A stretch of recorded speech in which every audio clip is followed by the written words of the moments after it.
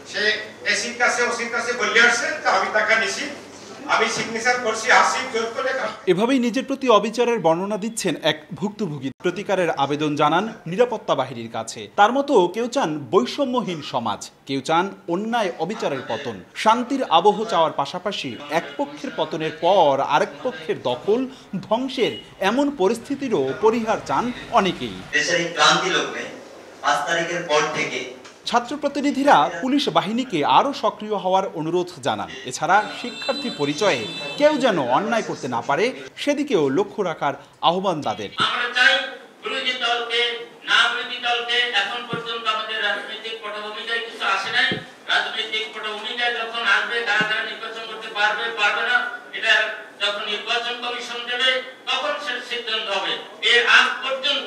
আমরা যারা আছি, আমরা সবাই মিলেমিশে থাকতে চাই।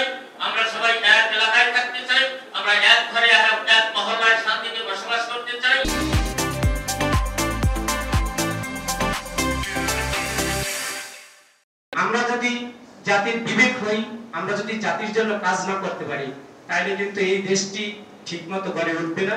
মন্ত্রণালয় বহু আছে একটা চারিত্রিক মন্ত্রণালয় থাকলে হয়তো এই দেশের মানুষগুলো একদিন পরিবর্তন হয়ে এতগুলা মানুষ আমরা ছোট্ট জায়গায় বাস করি।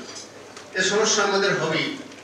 এজন্য চরিত্রকে দেখার জন্য আমি মনে করি, সেনাবাহিনীর ভাইয়েরা যদি যে ক্ষমতায় আসুক না কেন এরা যদি একটু নজর রাখে যে কি হচ্ছে দেশে। এই টাকার যে মালিক অরিজিনাল মালিক চার মালিক, সে গত পরশু দিন থানায় গেছে, সে এসির কাছে, ওসির কাছে বলে আসছে যে আমি টাকা নিছি, আমি সিগনেচার করছি আসিফ জোর করে কাম করতেছে স্যার, আপনাকে পাঁচ হাজার টাকা এটা অনুরোধ করছি, স্যার।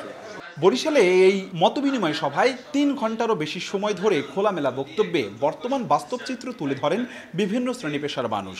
অভিযোগ করেন, বিভিন্ন স্থানে বাজারঘাট দখল ও ভয়ভীতি দেখিয়ে চাঁদাবাজির। বিভিন্ন জায়গায় বিভিন্ন হাট, বাজার, খেয়াঘাট বা টার্মিনাল, এগুলোতে থাকে, এক পক্ষ চলে যাওয়ার পর আরেক পক্ষ দখল নিয়েছে অনেক যারা বৈধ ইজারা নিয়েছে তাদের লোকজনও নাই। এখন যারা নিয়েছেন তারা এই শিক্ষার্থীদের ব্যবহার করতেছেন কেউ যদি ইনসিকিউর ফিল করার কথা বলে তার আসলে মুখ চেপে ধরে যে না তুমি ইনসিকিউরিটির কথা পাবলিক প্লেসে বলতে পারবে না। এটা দিয়ে আসলে আত্মবিশ্বাস তৈরি করা যায় না।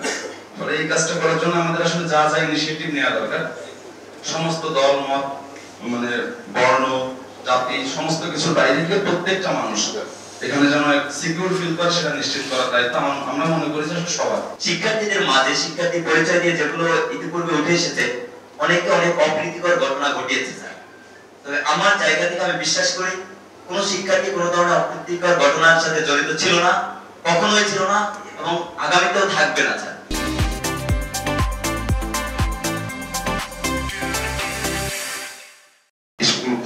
ছাত্ররা যাবে, ছাত্ররা পড়াশোনা করবে। কিন্তু আমরা কীভাবে বাচ্চাকে পাঠাবো, আমরা খুব ভয়ের ভিতর দিন কাটাচ্ছি।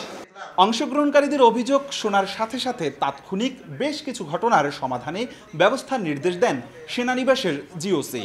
জানান, আইনশৃঙ্খলা পরিস্থিতি ভালোর দিকে। এখন দরকার সবার সহায়তা। যদি কোন স্পটে কতজন থাকবে? আসলে একটা স্পটে কিন্তু তিরিশ জন স্টুডেন্ট থাকাটা খুব বেশি দরকার নাই। ছোট ছোট মোড়ে তিরিশ জন থাকলে ওইটাই একটা ইয়ে তৈরি হয়। যদি এই সমন্বয়করা এটা করতে পারে, আমাদের নির্দিষ্ট করা আছে নির্দিষ্ট আমাদের ট্রাফিক পয়েন্ট আছে, কোন ট্রাফিক পয়েন্টে কয়জন থাকবে, কারা কারা থাকবে, এই লিস্টটা যদি আমাদেরকে দেওয়া হয়, আমরা তাদেরকে প্রয়োজনে আইডি কার্ড টাইপের একটা দিয়ে দিব। আর একটা সেক্ষেত্রে মনে হয় যে কাজটা ভালো হবে। ছাত্ররা একটা গুরু দায়িত্ব পালন করেছে। এখন তাদের কিন্তু পড়ার টেবিলে বসার সময় এসেছে।